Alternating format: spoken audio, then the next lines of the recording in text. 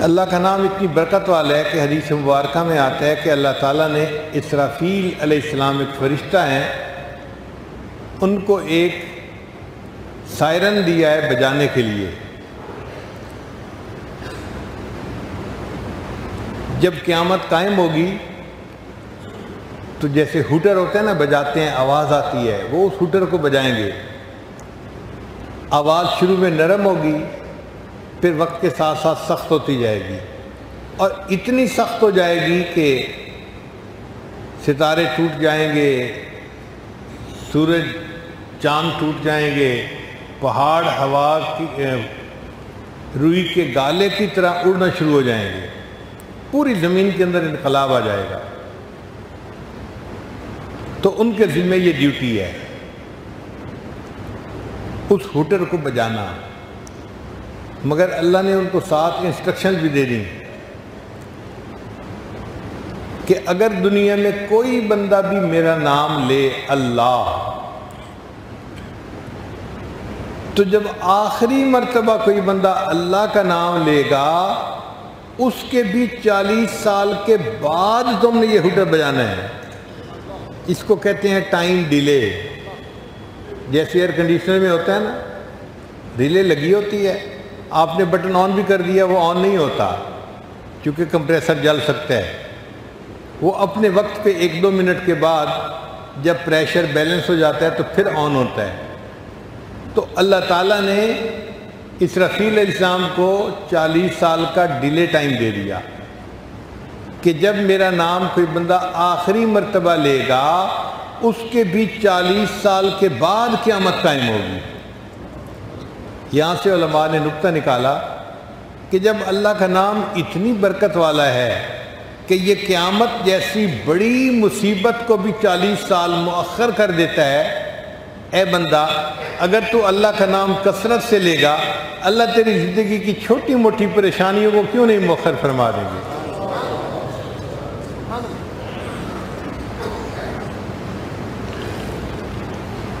अल्लाह के नाम से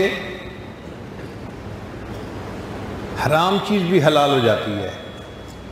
अजीब बात है। देखिए, जब निकाह होता है तो मियाँ बीवी एक दूसरे के लिए गैर महरम होते हैं। लड़की की तरफ़ देखना हराम, उसको छूना हराम, गैर महरम है। मगर अल्लाह के नाम पर रिश्ता कायम हुआ, और रिश्ता कायम होने के बाद वो इतना करीब हो गई कि सब अपनों से बड़ी अपनी बन गई। ज़िंदगी की साथी बन गई। तो अल्लाह के नाम की बरकत ने उस हराम को हलाल कर दिया ना? इसलिए अल्लाह फरमाते हैं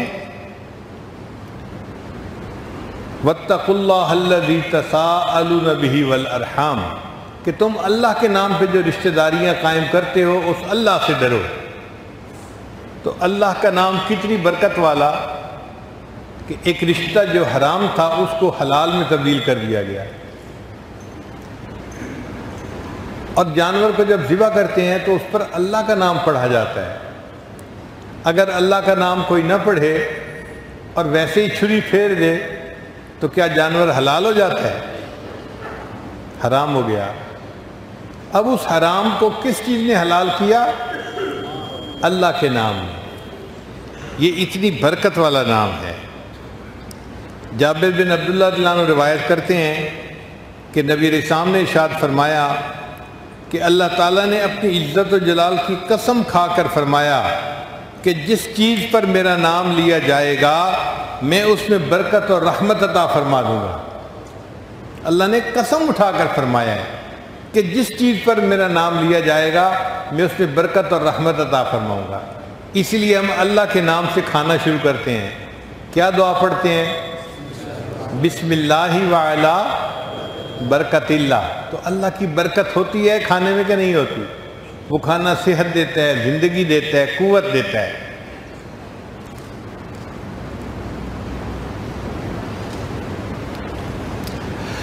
बाद मुफसर ने लिखा है कि बिस्मिल्लाह अल्लाह के नाम से इसम के कई मानी हैं। एक माना बरकत भी है।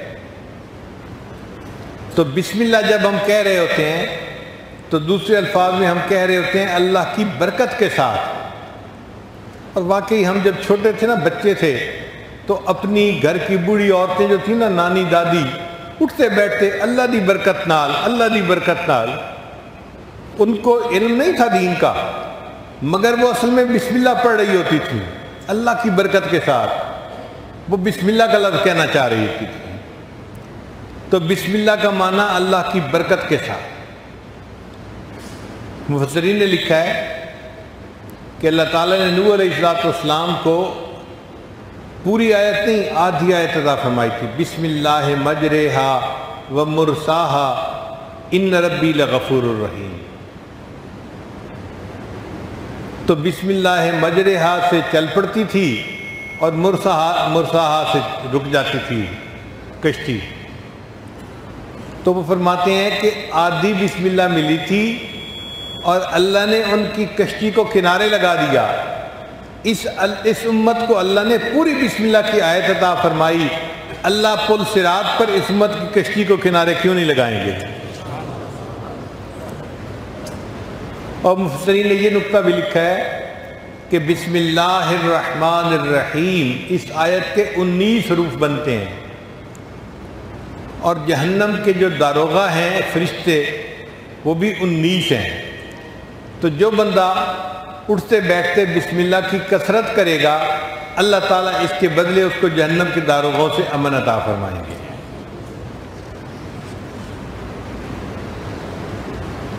इब्न क़य्यम रहमतुल्लाह ने इसमें जलाला अल्लाह के बहुत सारे फ़वाद बताए हैं। वो फरमाते हैं कि नबी इस्लाम ने फरमाया कि जो शख्स इसमें आज़म के साथ दुआ करता है, अल्लाह उसकी दुआ को कबूल करते हैं। अब उलमा में इस पर बहस चली कि इसमें आज़म कौन सा है। तो बादलमा ने लिखा कि या हयो या कयूम ये इसमें आज़म है। लेकिन इमाम आज़म अबू हनीफा रहमत ने फरमाया कि नहीं, जो अल्लाह का लफ्ज़ है ना, ये इसमें आज़म है।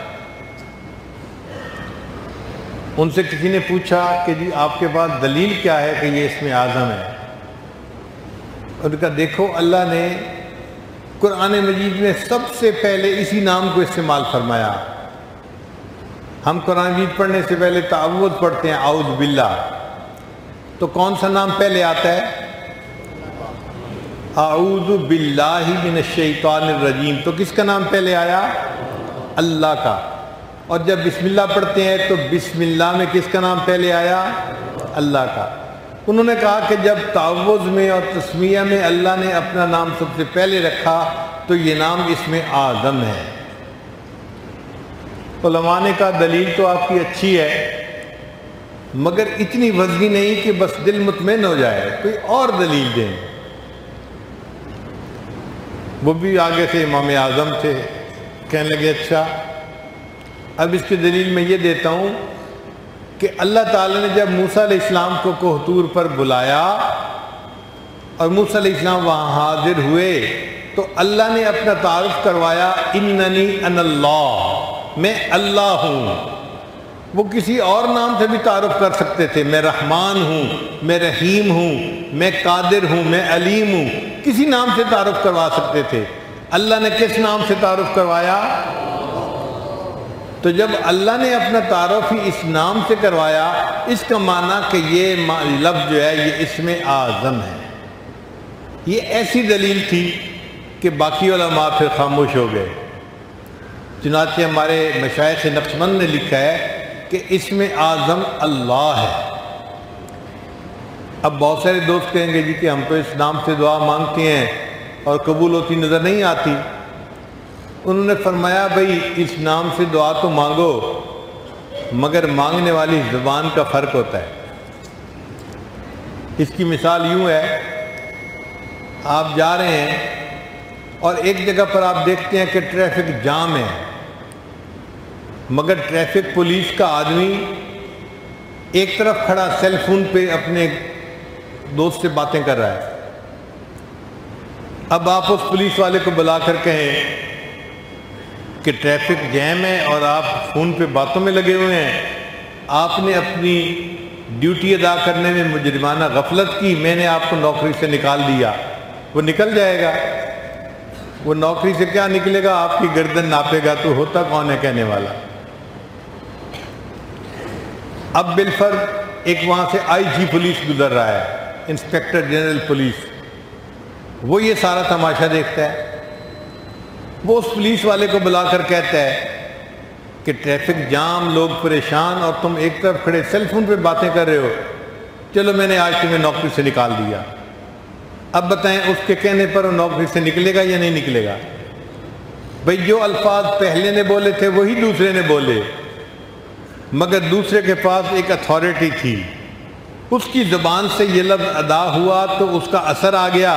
पहले के पास वो अथॉरिटी नहीं थी। तो मशाइ ने कहा कि ये लफ्ज़ आम बंदे की ज़बान से निकलता है तो असर नहीं होता।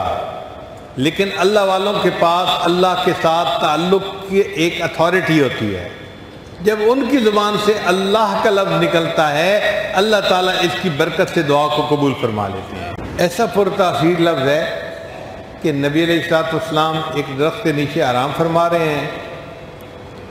समामा बिन असाल जो है, मुशरक था, वो आ गया। उसने सोचा कि बड़ा अच्छा मौका है।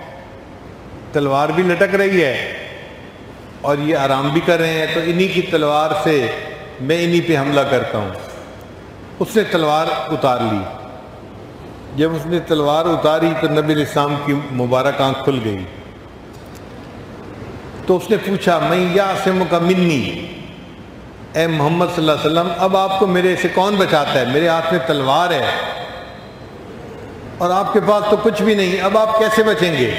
मैं यासिम का मिन्नी तो नबी इस्लाम ने उसके जवाब में फरमाया, अल्लाह। ये अल्लाह का लफ्ज़ ऐसा पुरतासीर था कि उसके दिल पे असर हुआ और वो कांपने लगा हती कि तलवार उसके हाथ से गिर गई। तो नबी ने तलवार उठा ली और उससे पूछा कि अब तुझे मुझसे कौन बचाएगा?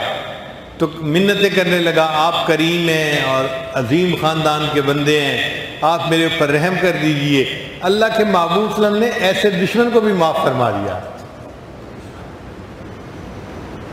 तो ये अल्लाह का नाम बड़ा पुरतसीर है। जब दुनिया में तादारी फितना आया, सातवीं सदी हिजरी में तो मुसलमान बहुत कमज़ोर थे। जिस तरफ़ तातारी आना चाहते थे, मुसलमान शहर ही खाली कर दिया करते थे। एक शहर का नाम था दरबंद। तातारियों ने वहाँ आने का इरादा किया और मुसलमान वहाँ से शहर छोड़ के खाली करके चले गए। तातारी शहजादा शहर में दाखिल हुआ, उसने देखा शहर खाली है। तो बड़े तरंग में उसने कहा कि हमारी कुवत का अंदाज़ा लगाएँ कि दुश्मन हमारा नाम सुनकर अपने घर खाली करके चला जाता है। उस शहजादे को बताया गया कि सारा शहर खाली है, लेकिन एक बूढ़ा आदमी है, वो मस्जिद के अंदर बैठा हुआ है। उसने कहा, उसको गिरफ़्तार करके मेरे सामने पेश करो। उनका नाम था अहमद, शेख अहमद। तो अहमद दरबंदी रहमत को पाँव में बेड़ियाँ डाली गई, हाथ में हथकड़ियाँ, और शहजादे के सामने पेश किया गया। शहजादे ने पूछा कि, सब लोग यहाँ से भाग गए, तुम क्यों नहीं भागे? उसने कहा, जी, मैंने अपना घर तो खाली कर दिया था और अल्लाह के घर में आके बैठ गया था। अब अल्लाह के घर से तो मुझे कोई नहीं निकाल सकता। उसने कहा, तुम गौर करो, तुम किससे बात कर उनका मैं एक ततारी शहजादे से बात कर रहा हूँ। तो बचाओ, अब तुम्हें कौन मुझसे बचाएगा? तो जब उसने कहा कि तुम्हें कौन बचाएगा, उन्होंने फरमाया, अल्लाह। ये अल्लाह का लफ्ज कहना था कि हाथ की जंजीरें भी टूट गईं और पाँव की बेड़ियाँ भी टूट गईं। वो तैतारी शहजादे के दिल पर बड़ा असर हुआ। उसने कहा अच्छा मैं आपको माफ़ करता हूँ, आप इस शहर में रह सकते हैं। अहमद दरबंदी रहमत गए नहीं, उसी शहर में रहने लग गए। अब वो तातारी शहजादा रात की तारीखी में छुप के कपड़े बदल के आता और हज़रत के पास कुछ देर गुजारता था, उसके दिल में अकीदत आ गई थी। आहिस्ता आहिस्ता उसने इस्लाम कबूल कर लिया। अहमद दरबंदी रहमत ने फरमाया, तुम अपने ईमान का इजहार न करना, बाकी शहजादे तुम्हें कत्ल कर देंगे, तुम्हारी जान का मसला है। उसने कहा, जी ठीक है। चुनाचे उसने अपने ईमान को ज़ाहिर नहीं किया, छुपाए रखा। तीस साल के बाद एक ऐसा वक्त आया कि जब उसका बादशाह बनने का वक्त आ गया। जिस दिन उस शहजादे की ताजपोशी हुई, उसने अपने ईमान का इजहार कर दिया और दोबारा पूरे के पूरा मुल्क जो था, सब लोगों ने कलमा पढ़ा, मुसलमान हो गए। एक अल्लाह वाले की बरकत से मुसलमानों से जो तख्त ताज छीना गया था वो बग़ैर लड़ाई के अल्लाह ने फिर मुसलमानों को वापस पहुँचा दिया। अल्लाह इकबाल ने शेर लिखा, है अया आज भी तातार के अफसाने से पासबा मिल गए काबे को सनम खाने से। बुत परस्त थे और अल्लाह ने उनको मुसलमान बनाकर इस्लाम का मुहाफ़ बना दिया। हज़रत गंगोई रमत के बारे में किताबों में लिखा है कि वो फरमाया करते थे कि अगर किसी बंदे ने पूरी ज़िंदगी में एक मरतबा अल्लाह का नाम मोहब्बत से लिया। अल्लाह। आप सब कह दीजिए, अल्लाह। दिल की गहराई से मोहब्बत से, अल्लाह। अल्लाह। अगर पूरी ज़िंदगी में किसी बंदे ने एक मरतबा अल्लाह का नाम मोहब्बत के साथ लिया ये एक मरतबा अल्लाह का लफ्ज़ कहना उसके लिए कभी ना कभी जहन्नम से निकलने का सबब बन जाएगा। अल्लाह का नाम दिल में आता है, दुनिया को दिल से निकाल देता है। इस नाम के अंदर तासीर है। ये दिल में आता है तो दुनिया की मोहब्बत को दिल से निकाल देता है। कुरान मजीद की एक आयत है कि जब सलेमान इस्लाम ने मलक बिल्कीस को पैगाम भेजा तो उसने अपने उमरा से मशवरा किया, असम्बली मम्बरान से मशवरा किया कि मुझे क्या करना चाहिए। तो असम्बली मम्बरान ने वही जवाब दिया, कदम बढ़ाओ, हम तुम्हारे साथ हैं। मगर वह समझदार खातून थी। वो कहने लगी, नहीं इन मलू का इजा दाखिल करियतन अफसदूहा। जब बादशाह किसी बस्ती में दाखिल होते हैं, फसाद मचा देते हैं वजालू इज़्ज़त अहलहा अजिल्ला। और जो वहाँ मुआज़ होते हैं, उनको जलील करके बस्तियों से निकाल दिया करते हैं। ये तो कुरान मजीद की आयत का ज़ाहिर तर्जम है। हज़रत अकरस्थानी रहमत फरमाते हैं, इस आयत में बेहतरीन तमसील है। क्या तमसील है? कि अगर मलूक से मुराद मालिकुल मुल्क अल्लाह का नाम लिया जाए और करिया से मुराद दिल की बस्ती ले ली जाए तो फिर माना यूँ बनेगा, इन्नल मलूक इजा दाखलू करियतन जब अल्लाह का नाम इस दिल की बस्ती में दाखिल होता है, अफसदूहा इनकलाब मचा देता है वह जालू इज़्ज़त अजिल्ला और दुनिया जो मुआज़ होती है, उसको जलील करके दिल से निकाल दिया करता है। इसलिए अल्लाह का नाम लेने से दिल को तस्कीन मिलती है। अल्लाह फरमाते हैं अल्लाह बेज़िक्र तत्मइनकलूब जान लो, अल्लाह के नाम के साथ दिलों का इतमान वाबस्ता है। फारसी का शेर है अल्लाह अल्लाह ईच शीरी हस्त नाम शीर शक्कर में शवद जानम तमाम। अल्लाह अल्लाह का नाम कितना मीठा नाम है। कि जब मैं लेता हूँ तो मेरे अंग अंग में इस तरह मिठास आ जाती है, जैसे शक्कर मिलाने से पूरा पानी शरबत की तरह मीठा बन जाता है। अल्लाह के नाम में ऐसी मिठास है कि मेरे पूरे तन के अंदर मिठास आ जाती है। हमारे सिलसिला के बुज़ुर्ग थे ख्वाजा अबुलसन खरकानी रहमत और उनके पास अपने वक्त का एक बड़ा हकीम दाना बंदा था बू अली सीना, वो आया करता था। एक दफ़ा बू अली सीना बैठा हुआ था तो हज़रत ने अल्लाह के नाम के फ़जाइल सुनाए। अल्लाह का नाम बरकत वाला है। अल्लाह का नाम से गम दूर हो जाते हैं, परेशानियाँ दूर हो जाती हैं। अल्लाह के नाम से इंसान को अल्लाह से ताल्लुक़ मिल जाता है और अल्लाह के नाम से बाहर आ जाती है। ये होता है, वो होता है, बहुत फ़जाइल सुनाए। तो जब इतने फ़जाइल सुनाए तो वो तो हकीम बंदा था, वो तो अकली आदमी था। बड़ा हैरान हुआ कि एक नाम का ज़िक्र करने से इतने असरात होते हैं। उसने सवाल पूछा कि जी, सिर्फ़ अल्लाह का नाम लेने से इतना बंदे के ऊपर असर हो जाता है? तो जब उसने पूछा ना कि एक नाम लेने से इतना असर होता है बंदे पर, हज़रत ने फरमाया ए खर तुझे दानी, एक गधे तुझे क्या पता? अब वो तो बड़ा वीआईपी बंदा था, मुल्क का मशहूर बंदा।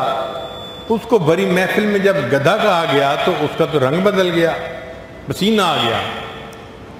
हज़रत ने देखा कि उसको पसीना आया हुआ है तो पूछा कि हकीम साहब, खैरियत है, आपको पसीना आ गया? हज़रत आपने लफ्ज़ ऐसा बोला है, फरमाया, देखो, एक लफ्ज़ मैंने बोला है, खर गदा और उसने तेरे तन बदन में असर पैदा कर दिया है, क्या अल्लाह का नाम इंसान के तन बदन में असर पैदा नहीं कर सकता? और हम अगर सोचें तो अगर कोई बंदा अचार का नाम लेना तो हमारे मुँह में राल टपकती है। खटास और मिठास का नाम लेने से ना, उसका असर मुँह में महसूस होता है। तो भाई, अगर खटास और मिठास के नाम में तासीर है तो अल्लाह के नाम में तासीर क्यों नहीं हो सकती? तासीर है, हम वाकिफ नहीं है, हमें पता नहीं है। हमें तजर्बा नहीं है इसका। वरना जिनको इस तासीर का पता है, वो अल्लाह का नाम लेते हैं और वाकई अपनी ज़िंदगी में लुत्फानंदोज होते हैं।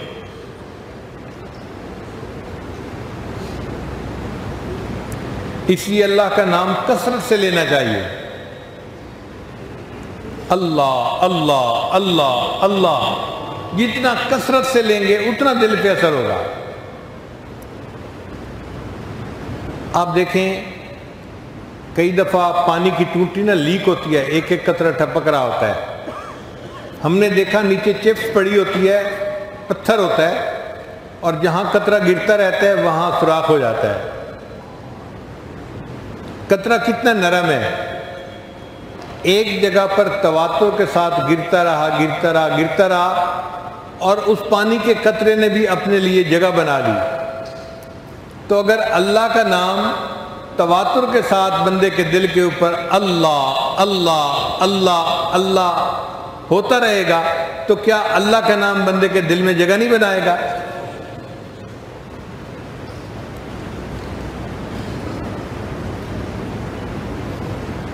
एक मरतबा एक गैर मुकलद से वास्ता पड़ गया मेरा।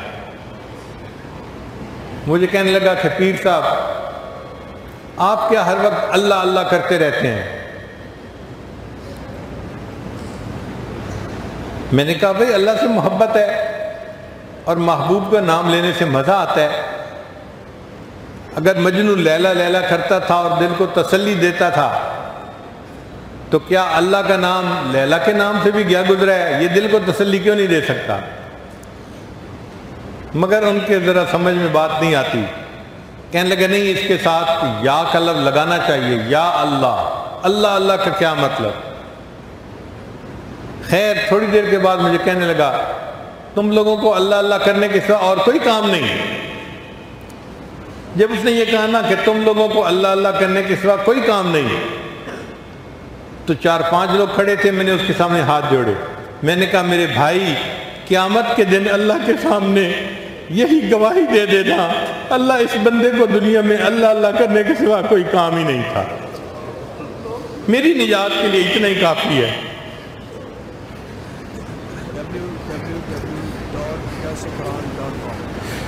जो बंदा हर वक्त अल्लाह अल्लाह अल्लाह अल्लाह के ज़िक्र में लगा रहेगा, उसकी बख्शिश के लिए ये एक नाम ही काफ़ी है।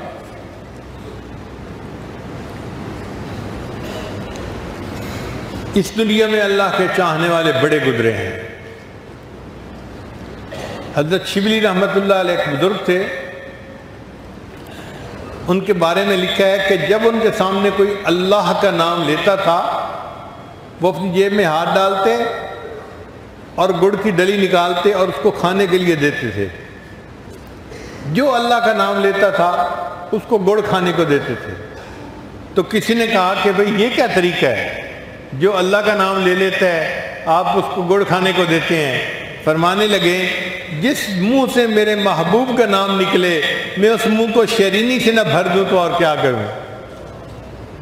कितनी मोहब्बत होगी उनको अल्लाह से, कि अल्लाह का नाम लेने पर मुँह को मीठा कर दिया करते थे।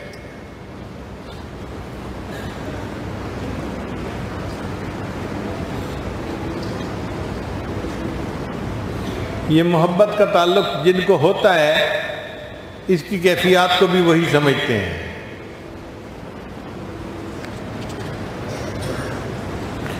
तो अल्लाह ताला का इसमें जलाला कौन सा है? अल्लाह। इस नाम को कसरत के साथ लेना चाहिए। उठते, बैठते, चलते, फिरते, हर वक्त ज़बान से पढ़ें तो भी ठीक है, और अगर दिल में पढ़ें तो और भी ज़्यादा अच्छा है। इसकी बरकत से हमारी सब परेशानियाँ भी ख़त्म होंगी और हमारे दिल का ताल्लुक अल्लाह के साथ जुड़ जाएगा।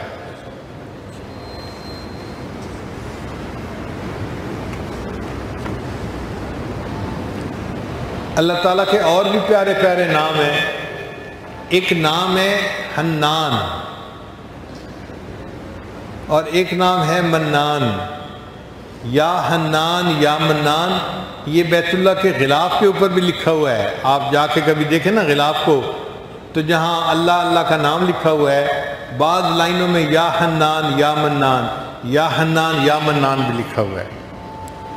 मन्नान कहते हैं, ऐसा देने वाला कि बंदे को मांगने से पहले दे दे। बाद लोगों की आदत होती है, दूर से फ़कीर को आता हुआ देखते हैं ना उसको मांगने का मौका नहीं देते। पहले जेब में से पैसा निकाल लेते हैं कि मेरी तरफ़ आ रहा है।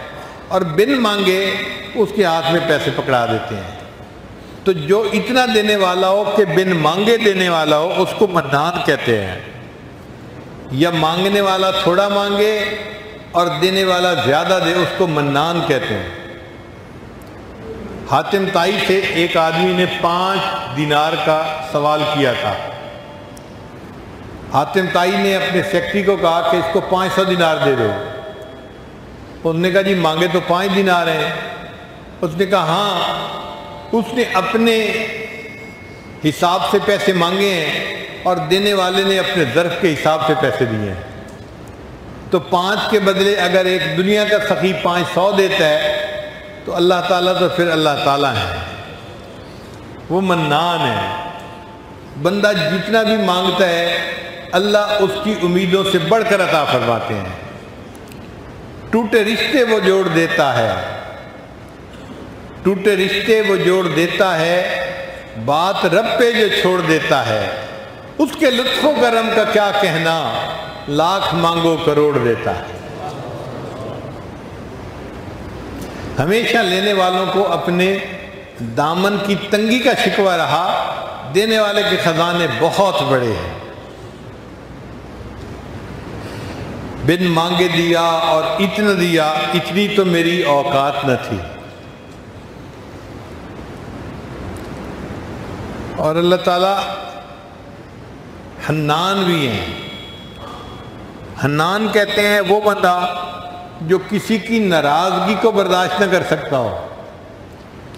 बाद लोगों की तबीयत होती है, उनसे नाराज़ हो जाओ ना तो वो नाराज़गी बर्दाश्त नहीं कर सकते फ़ौर मनाने लग जाते हैं। जब तक मना न लें उन्हें चैन नहीं आता, उनके अंदर ये सिफत होती है, वो किसी की नाराज़गी को बर्दाश्त ही नहीं कर सकते। सबको मना के रखते हैं। अल्लाह ताला हन्नान है। अल्लाह भी अपने बंदों को अपने से नाराज़ नहीं होने देते। हालाँकि आदाब शहाना का तकाजा तो ये था कि अगर कोई अल्लाह के दर से पीठ फेर के जाता अल्लाह उसको पीछे से उसकी पीठ में एक लात भी लगवा देते और फरमाते, ओ मरदूद दफ़ा हो, मेरे दर से जा रहे आज के बाद ये दर तेरे लिए कभी नहीं खुलेगा। बादशाह की तो शान यही होती है। मगर जो अल्लाह के दर से पीठ फिर के जाता है, अल्लाह उसके साथ ऐसा नहीं करते। कुरान मजीद में अल्लाह फरमाते हैं, या हल इंसान मा गर्रा का बिरबिकल करीम। ए इंसान, तुझे तेरे करीम पर दिगार से किस चीज़ ने धोखे में डाल दिया? तो अपने रब से क्यों रूठ के जा रहा है? क्यों नाराज़ होके जा रहा है? अल्लाह ताला जो अहकमुल हाकिमीन है, अपने रूठे हुए बंदे को मनाते हैं।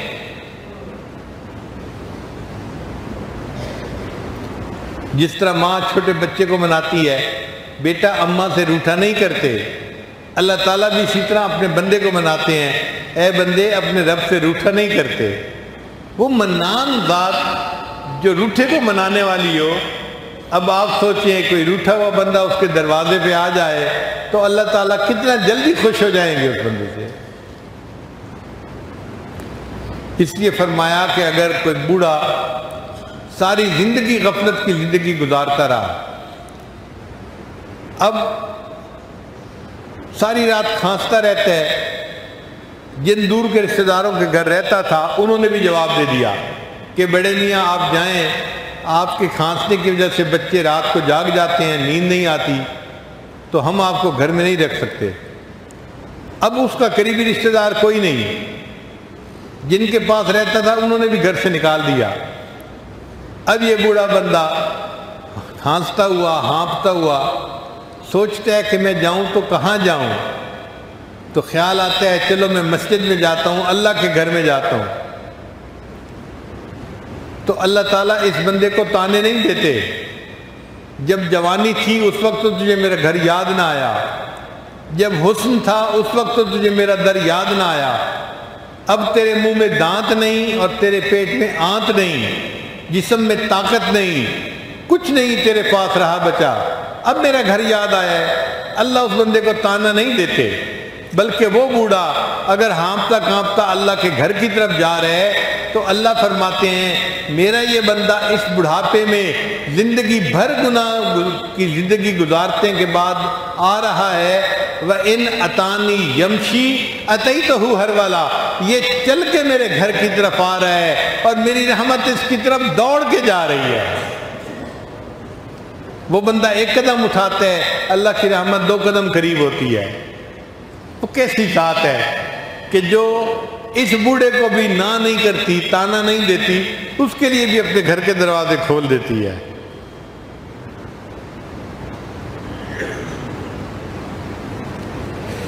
इसलिए हमें चाहिए कि हम अल्लाह रब्ज़त के सामने अपने गुनाहों की माफ़ी मांगे। अल्लाह ताला बहुत जल्दी माफ़ करने वाले हैं। वो बंदे को बहुत जल्दी माफ़ फरमा देते हैं। इलाही अब्द कल आसी अता का ए अल्लाह, आपका गुनागार बंदा आपके दरवाजे पर हाजिर है। मुकर्रम बिलजनूब वक़द आका। अल्लाह अपने गुनाहों का इकरार में करता हूँ और आपके सामने ये दुआ करता हूँ। फ़ैन तक फिर फ़ान तजा का अहलन अल्लाह, अगर तू माफ़ कर दे तो तुझे ये बात सजती है वह इन तत्रुद हम सिवा का और अल्लाह अगर तू धक्के दे देगा तो कौन है जो हम पर रहम खाने वाला? अल्लाह के सिवा कोई दूसरा रहम खाने वाला नहीं। तो अल्लाह ताला से अल्लाह की रहमत को तलब करना चाहिए। अल्लाह ताला गुनाहों को माफ़ कर देते हैं और बंदे से राज़ी हो जाते हैं। इबन कैम राम ने वाक़ लिखा है कि मैं एक गली में से गुज़र रहा था। मैंने देखा एक माँ अपने बच्चे से नाराज़ थी। कोई छः सात साल की उम्र का बच्चा था। माँ उसको थप्पड़ लगा रही थी, मुक्के मार रही थी, धक्के दे रही थी। कह रही थी, तू मेरी कोई बात नहीं मानता, तू कितना ज़िद्दी है, कितना नाफरमान है। और दरवाज़ा खोल के माँ ने उस बच्चे को ना बाहर धक्का दे दिया। अगर तूने मेरी बात कोई नहीं माननी तो दफ़ा हो यहाँ से, मेरे घर में तू नहीं रह सकता। और माँ ने गुस्से में दरवाज़ा बंद कर लिया अब वो बच्चा रो रहा था, उसे मार पड़ी थी। इबन कईम राम से फरमाते हैं, मैं उस बच्चे को देखने लगा, करता क्या है? थोड़ी देर के बाद वो बच्चा गली के एक तरफ़ चलने लग गया। जब गली के मोड़ पर गया तो वो कुछ सोच रहा था। खड़ा होकर सोचता रहा और वापस फिर अपने घर के दरवाजे के ऊपर आकर बैठ गया और उसको नींद आ गई। अभी वो बच्चा सोया हुआ था, उसकी माँ ने किसी काम के लिए दरवाज़ा खोला। जब दरवाज़ा खोला तो देखा बच्चा दहलीज पे सोया हुआ है। माँ का गुस्सा भी ठंडा नहीं हुआ था। वो फिर शाउट करने लगी, जाता क्यों नहीं? दफो यहाँ से। मैं तेरी शक्ल नहीं देखना चाहती, तू मेरी बात क्यों नहीं मानता? तू नाफरमान बन गया है। जब माँ ने उसको फिर डांटा तो बच्चे की आँख खुली। और बच्चे ने रो कर कहा अभी जब आपने मुझे घर से धक्का दिया था, मैंने सोचा था मैं यहाँ से चला जाता हूँ। और अम्मी, मैं गली के मोड़ तक चला गया था। फिर वहाँ जाकर मुझे ख्याल आया, मैं कहीं जाकर मजदूरी करूँगा। लोग मुझे कपड़ा भी दे देंगे, खाना भी दे देंगे, रहने की जगह भी दे देंगे। लेकिन फिर ये ख्याल आया कि अम्मी, जो मोहब्बत मुझे आप देती हैं, ये मोहब्बत मुझे दुनिया में कोई नहीं दे सकता। अब इस ख्याल आने के बाद, अम्मी, मैं अब आके दरवाजे पर बैठ गया हूँ। तू मुझे मार, फिर भी मैं यही हूँ, और मुझे प्यार कर, तब भी मैं यही हूँ। जब बच्चे ने ये कहा तो माँ की ममता जोश में आई। उसने बच्चे को उठा के सीने से लगा लिया, और बच्चे की गलती को माफ़ कर दिया। हम भी आज अल्लाह के दर पर इसी तरह आकर बैठे कि या अल्लाह। जितने रहमत करने वाले आप हैं, इतना कोई दूसरा नहीं। हम गलती करते रहे, गुनाह करते रहे। हमसे बहुत कोताहियाँ हुई। आज एहसास हुआ है कि आप बड़े रहीम हैं, बड़े करीम हैं, बड़े हन्नान हैं, बड़े मन्नान हैं। अल्लाह, हम आपका दर छोड़ के नहीं जाएँगे। हम पर रहमत की नज़र फरमा दीजिए। अल्लाह हमारे लिए इस दरवाजे को खोल दीजिए। जब हम इस तरह अल्लाह से मांगेंगे, यकीनन अल्लाह ताला हमारे गुनाहों को माफ़ फरमा देंगे और अल्लाह ताला हमारे लिए नेकी की ज़िंदगी गुजारना आसान फरमा देंगे। हमारे इलाके के एक बुज़ुर्ग थे, उन्होंने पंजाबी ज़बान में कुछ अशार कहे। बहुत सारे लोग नहीं समझेंगे तो उनका मैं उर्दू में तर्जमा कर दूँगा। फरमाते हैं और कहानी मूल न भाणी और कोई कहानी मुझे अच्छी नहीं लगती। और कोई बात मुझे अच्छी नहीं लगती। और कहानी मूल न भाणी अलिफ ही को हिम बस वे मियाँ जी। ए मियाँ जी, मुझे एक अलिफ अल्लाह काफ़ी है। कोई बात मुझे अच्छी नहीं लगती, बस मुझे एक अल्लाह काफ़ी है। और कहानी मूल न भाणी अलिफ ही को हिम बस वे मियाँ जी बेते दी में कुलोड़ नकाई यानी अलिफ से मुराद अल्लाह, और जो अल्लाह का माँ सिवा है, उसको बेते कहते हैं। कि मुझे बेते की ज़रूरत नहीं है। बेटे दी में कुलोड़ नकाई। अलिफ ले दिल खसवे मियाँ जी। ए मियाँ जी, मुझसे तो अलिफ ने मेरा दिल ही छीन लिया है। मेरा दिल मेरे पास नहीं है, अलिफ ने मुझसे दिल छीन लिया। अल्लाह ने मुझसे मेरा दिल छीन लिया। अब मुझे माँ सिवा की कोई परवाह नहीं है। और कहानी मूल न भाणी। अलिफ ही को हिम बस वे मियाँ जी। बेटे दी में कुलोड़ नकाई अलिफ ले उम दिल खस वे मियाँ जी। जिक्रुल्ला दा चरखा चलावी। ए फरीद, तुम ला इला का ज़िक्र करते रहना करते रहना। अलिफ की तुम बेबस वे मियाँ जी। और अलिफ ने तो मुझे बेबस कर दिया है। अल्लाह की मोहब्बत मेरे दिल में ऐसे सिमा गई है कि अल्लाह की मोहब्बत ने मुझे बेबस कर दिया है। अल्लाह ने मुझसे मेरा दिल छीन लिया। अल्लाह मेरे लिए काफ़ी है और अल्लाह ने मुझे बेबस कर दिया है।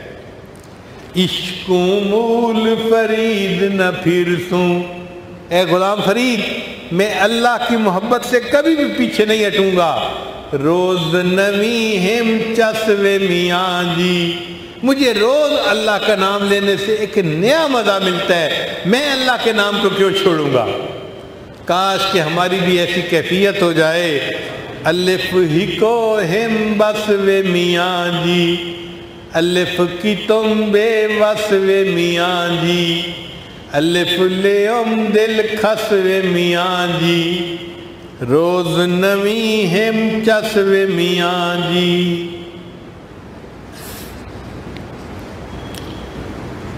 हज़रत ख्वाजा फजल कैश रहमत की खानका पर लोग अल्लाह अल्लाह सीखने आते थे और उनके अजीब हालात थे। एक बरामदा सा था, सब वहीं इकट्ठे ऐसे सो जाते थे।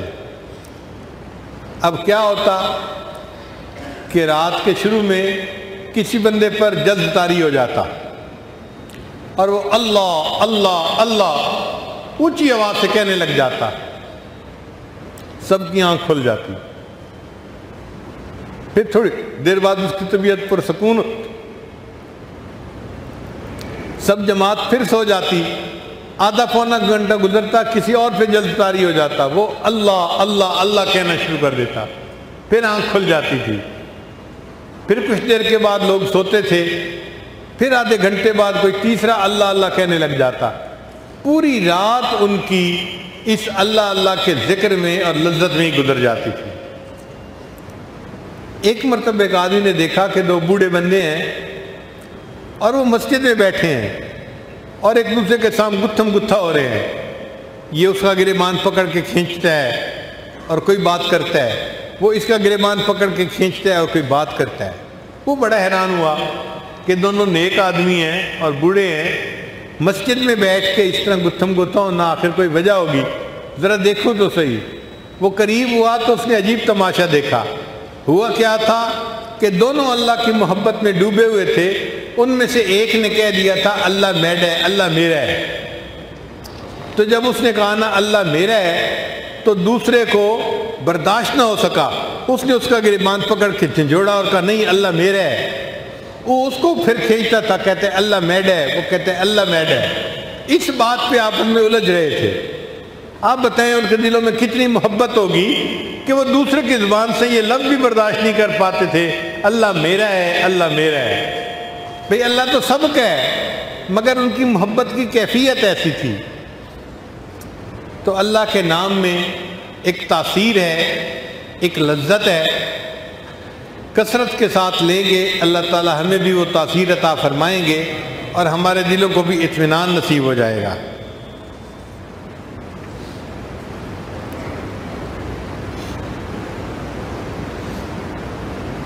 किसी ने अल्लाह की मोहब्बत में अशार कहे हैं एक नशा सा है जो छाए है तेरे नाम के साथ। ए अल्लाह, आपका नाम मैं सुनता हूँ, मेरे ऊपर एक नशा चढ़ जाता है। एक नशा सा है जो छाए है तेरे नाम के साथ। एक तसल्ली सी भी आए है तेरे नाम के साथ। और अल्लाह आपका नाम लेता हूँ तो मेरे दिल को एक तसल्ली मिल जाती है। अंबरो ऊद लुटाए है तेरी याद जमील। अंबरो ऊद लुटाए है तेरी याद जमील। एक खुशबू सी भी आए है तेरे नाम के साथ। गोया कौनेन की दौलत को समेटा उसने। दिल की दुनिया जो बसाए है तेरे नाम के साथ। है तेरा ज़िक्र हलावत में कुछ ऐसा के जमा। एक नया जायका पाए है तेरे नाम के साथ। अल्लाह तेरा नाम लेता हूँ, जबान को एक नया जायका नसीब हो जाता है। खूब क्या इश्क इलाही का असर होता है। खूब क्या इश्क इलाही का असर होता है। रूह भी वजद में आए है तेरे नाम के साथ। हाल क्या होगा भला उनका तेरी दीद के दिन? एला तेरे उन आशकों का उस दिन क्या हाल होगा जब उनको तेरा दीदार नसीब होगा? हाल क्या होगा भला उनका तेरी दीद के दिन? जिनका दिल जोश में आए है तेरे नाम के साथ। अल्लाह, तेरा नाम सुनकर जिनका दिल जोश में आ जाता है जब उन्हें तेरा दीदार नसीब होगा, उस दिन उन का क्या हाल होगा?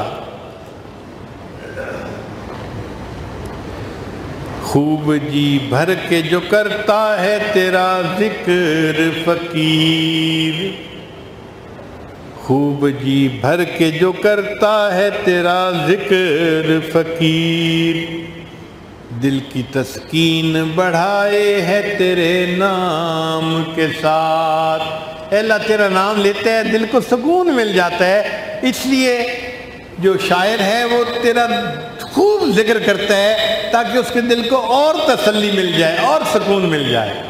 अल्लाह ताला हमें भी ज़िक्र की ऐसी लज्जत अता फरमाए कि हम ज़िक्र करते हुए थके ना। एक नशा मिले, एक मज़ा मिले, और हम बैठे रहें अल्लाह के नाम को लेते हुए। www.dasquran.com